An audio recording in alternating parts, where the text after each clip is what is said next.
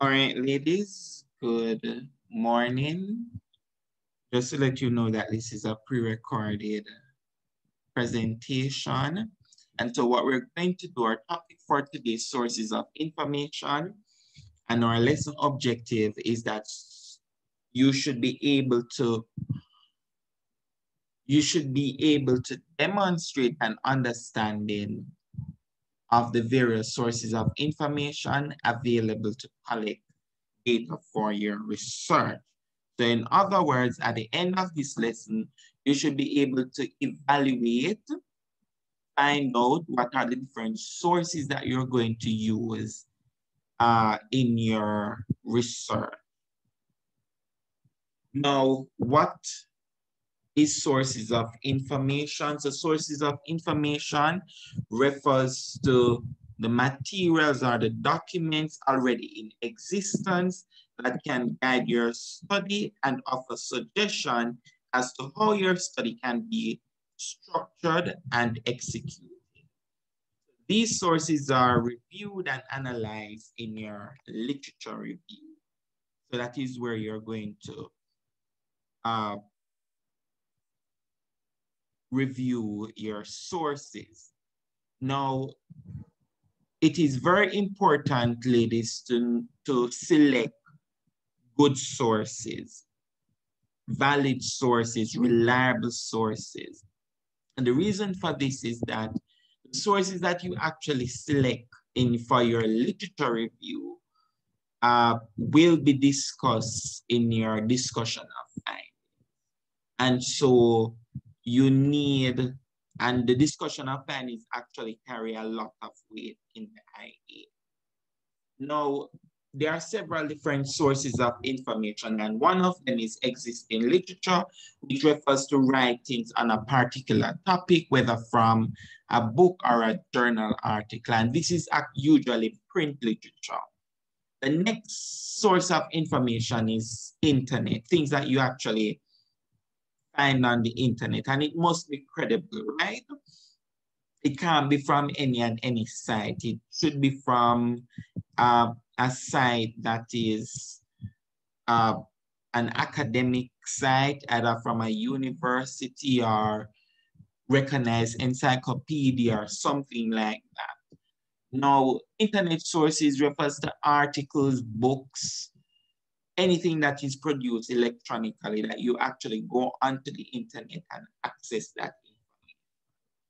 Next is oral histories. And oral history refers to recording the preservation and interpretation of historical information based on personal experiences and opinions of the speaker.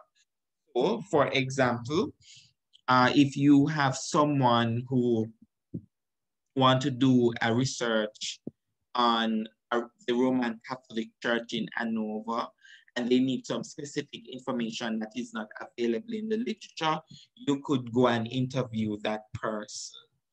Uh, to glean that history from the, the individual who was actually around when the church was being built, or maybe their grandparents told them about the church or something that it. Now, uh, sources of information. Uh, another one is through newspaper, right? Newspaper reports. So most of us will be able to use the newspaper reports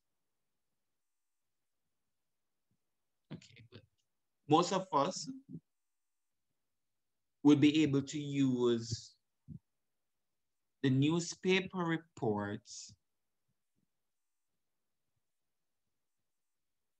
One second.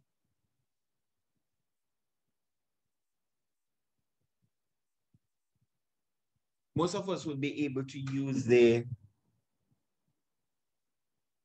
the internet the internet, the newspaper reports, and newspaper reports are very important because newspaper reports, it tells the reader about events that have happened uh, maybe locally, internationally, uh, internationally. They provide answers to who, what, where, when, why, and how. So I doubt most of us will use uh, internet articles because internet articles are very helpful, but I'm not so sure that most of us will actually do things like oral history because based on the topic that I've seen thus far, oral history is not something that is required for that, for those topics. Uh, archive is another source of information where you can go and access. You have the archive in Spanish Town. You have also the National Library where you can go to get to, to get information, primary sources, uh, such as recordings, documents, manuscripts, all of these different stuff. Again, for archive, I doubt you'll be able, based on the topics that I've seen, archival sources is not really required for those research. But if you want to include them, you may include. Another source of information is meetings, minutes of meetings, and these quite a lot of companies, organization actually have minutes that you can actually see the minutes uh, so for example, if you're doing something on environment, uh, there are minutes of the meetings that are available in the various, for example, at NEPA that you can go ask for the minutes of the meeting because those minutes are public uh, documents. If it is some other organizations, uh, cultural organization, they could give you the minutes and the minutes of those minutes of those meetings uh, help you to, you see the names of the participants, the agenda, what was covered, what was actually discussed in the meeting, the debates, and all of these different stuff. And so you can glean information for your study from the minutes of meetings. Now you just don't go about and just choose, choose uh, your sources just like that. You just go on the internet and see an article and you just take it uh, uh, face value and say, all right, I'm going to use it. Or the same thing for a book or a newspaper article. You don't do that. So what you're going to do is that you're going to select your article based on these criteria. So one, the first criteria is authority. You need to we are going to go into authority, accuracy, and content. So those are the three criteria that we're going to use to select our sources, right? And actually when you write in your literature review, you need to discuss these criteria in your literature review. Now, when we're talking about the first criteria, authority, you need to know who is the author the credential of the author. For example, if you're doing something on culture, dancehall, you see a book on dancehall, you need to know who is the author because any and anybody can write a book on dancehall. You need to know who is the author and the credential. So for example, you could find a book that was written by Professor Donna Hope or someone else who is within that field. Uh, in addition, you need to know if if there's no author, for example, because you could have no author for a book or no author for an internet source, right? And I've gone through that already where I've seen a book, I've been to the archive, going to the archive, there is a book there, but there's no author there. They need to find out uh, when it was actually written and whether it was a commission book, because if it is usually a commission book, they usually don't put, um, it's usually a book that are compiled or written by several different persons. So you need to find out these information. Now, after you find out information about the author and its credential, you need to, the next criteria is accuracy. Evaluate the sources and the accuracy of the information and the bibliographic information by asking the following questions. You ask these questions, does the information in the article or the book appear correct? Does the article have a bibliography or reference list? Is it clear where the author got his or her information? Is it obvious who is responsible for the information? Now, if you cannot verify the, inform that the information is correct or that the author is an expert on the topic, you should not use that source. So you have to be very, very careful on the source that you're using. The next one is content. Uh, so when you're another criteria in evaluating your sources is the content. And you evaluate your sources based on the content by asking these questions. Does the content address the topic effectively? Are the key questions about your topic answered within the content? Does the content seems like it is likely to help your research? Does the content provide any information that is new or useful? So while evaluating the while evaluating the content is important, while evaluating, you should actually ensure that the content that is there is important for your particular study. All right. So I'm going to give you an example. If you are doing a research on pollution in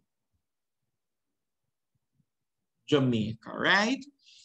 Your pollution in Jamaica. So that's your research that you're doing. In, uh, or you should not use, well, not Jamaica, but pollution in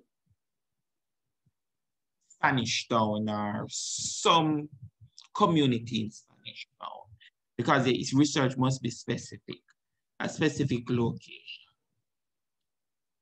You don't just go and take up a book and when you look at the content, it's talking about pollution in Asia or pollution in the North America. It must be re related. So you need to go and find information that is dealing with pollution in Jamaica. If you can't find a book or a source that is dealing with pollution in Jamaica, go and find something that is dealing with something on the Caribbean. If you can't find nothing on the Caribbean, which I doubt, then you can use a source uh, that is on a topic of another region of the world. Which brings me to this one, uh, relevance. You evaluate your sources based on relevance by asking the following question. Is the information and the content relevant to your research paper or topic? Sometimes sources relevancy is not apparent until you have read all or most of the information. In many instances, however, you can judge the relevance by looking at the following aspects of a source. So you go into the table of content, you read the introduction of the book, and sometimes you read the conclusion. Most time when I'm reading a book, there are the, the two places that I actually start first is uh, the conclusion. Yes, I start at the conclusion and then I go through the, the introduction and then I glean through the table of content to see if the information is relevant. And so you just, uh, we are not telling you to go and read an entire book. No, you have to glean, to glean the book, go through the book uh, to see if it is relevant to your topic. Go use the index also of the book when it is applicable because we know that not all books have actually an index, right? Objectivity is very uh, is another criteria that we should use. Objective, and the truth is that um, every single material that we use to some extent have its biases, right? But it should be, the biases should not be overly So we should ask the following question, is the objectivity of the source clear? Is there any obvious bias? Is the purpose obvious? Is the sole purpose of the article to give information or is it to promote or try to sell something? So we need to ask ourselves the question about objectivity. So just a recap, so we need to look at objectivity, relevance, the content, accuracy, and also the author. So those are some of the things that we actually need when we are evaluating our sources. Now, the next thing is audience who was it actually uh, addressing? Is the in intended audience a group of expert or it's for general, a general audience? Is it for the public? What is the sole audience? Who it was actually geared towards, the material that you're going to. Another is the style. Is the organization content logical? Is there a clear presentation of the argument? Is the text easy to read? Is it too word? Is it too formal? Is it choppy? And sometimes based on the writing style, especially when you're looking at internet sources, the writing style alone can tell you that, listen, this was not written by uh, a person uh, with some level of, you know, university experience or a scholar, something like that. Because you're going to spot out some of the things when you see the, when it comes to the writing style. Another is the currency. You evaluate, is, evaluate your sources based on currency. When was the source published or written? the time when it was published. So we are saying, for instance, if you're doing some research on uh, pollution in uh, pollution in Eltham Acres in Spanish Town, right? We are not expecting you to find an article on pollution in Eltham Acres that was actually written in 1990 we need a recent article, something that was recently done, right? Now, also, yes, so those are some of the different things that you use to evaluate. You use to evaluate your, your, evaluate your sources. Uh, now for your literature review, ladies, that you're going to use, you're not going to use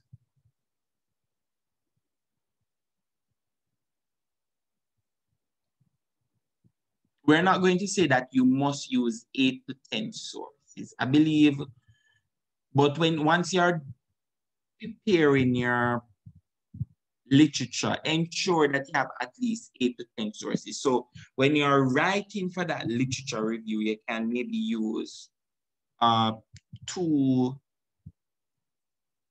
because I believe you need, well, you actually need four to five sources, right? Four to five sources.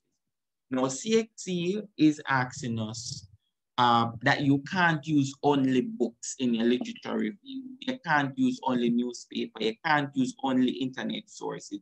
You can't use only journal articles. You must mix it. So I would say you could use a book, a textbook, a newspaper article, a professional journal paper, a professional paper, a journal paper. You could also use a YouTube video. So these are some of the different stuff that you're going to actually. Now, when you're doing your literature review in the initial stage, try to have at least eight to 10 sources that you're going to evaluate, right? Have eight to 10 sources. Not all of your eight to 10 sources will end up in a literature review, but to be safe, have at least eight to 10 sources.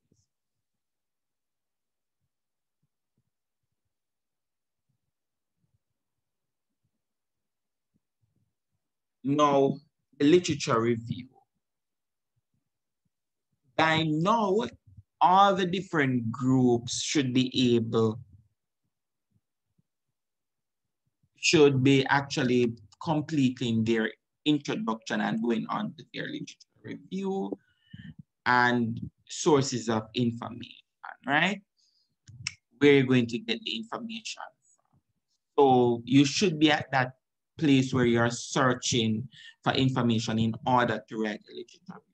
at this stage, you are looking to find out what people have said about your topic in a book, a journal, an article. You should use five sources when writing your literature review. Use your research question as a guide as to what to look for when reading. So you might not find a book on a village or the exact topic, but the book might be on a theme you have chosen. The literature review is technical and must not be taken lightly. The quality of your the quality of your literature review affects the quality of your discussion of finding uh, at the end of your IA. So you will need at least four to six different sources for your literature review. As I said in the initial stage, I would say you to be safe, to be safe, use uh, actually eight to 10, and then you eliminate to see what is closest to the area that you're actually doing your research on. Now, ladies, there is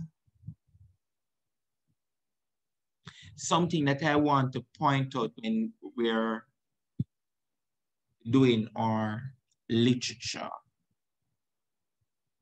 And I'm coming. One second. No. There are some, there are some times that you can actually find things on the internet very uh, useful material.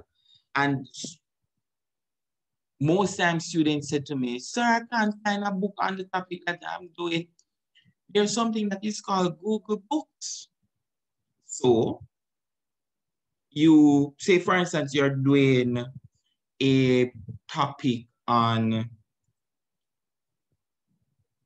dance hall dance hall in Jamaica. You type in dance hall in Jamaica. You go right here, and then you go to more, and then you go to Google Books.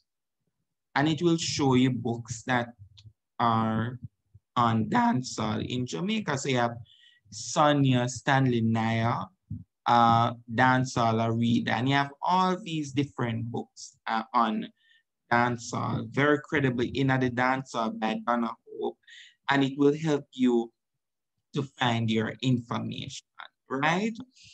The if you're also for Google Books, you could maybe look at another topic. You could look at this social media and teenagers.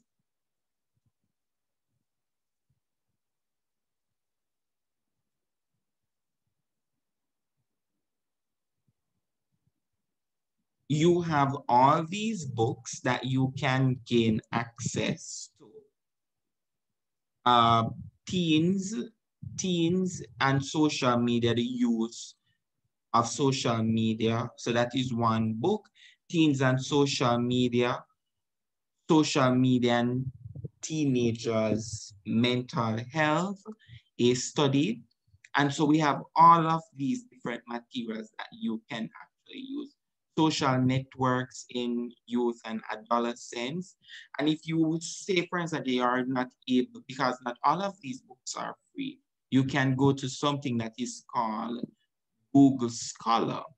Now, so if you're going to go to Google Scholar to find your information, you can go to Google Scholar, type in Google Scholar, and Google Scholar will able to, sometime on Google Scholar, you'll get journal articles and all of these different. So when you go into Google Scholar, you could find teenage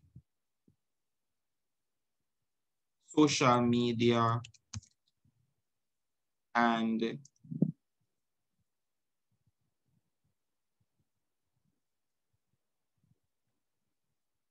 teenagers.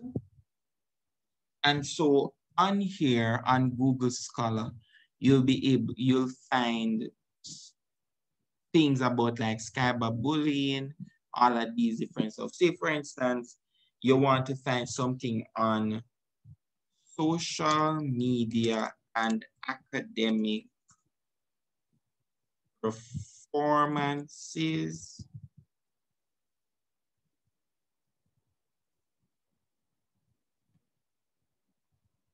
Effects of social media is one. The effects of social media on the undergrad students' academic performance is the impact of social media on this mobile social media usage and academic performances.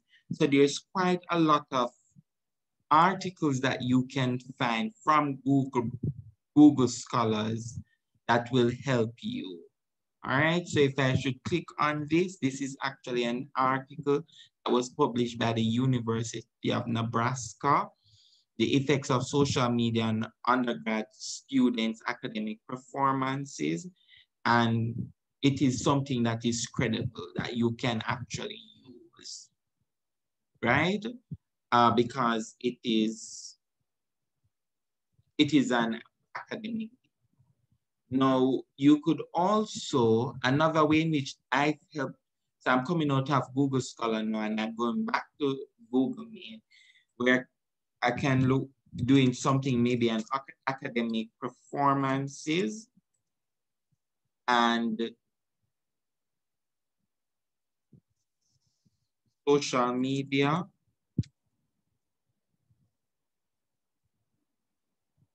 All right, the really, so let's go this. And then if I want maybe something like an article, sometimes I can just type in PDF at the end and it will bring up maybe a PDF article. And see, this is one from ResearchGates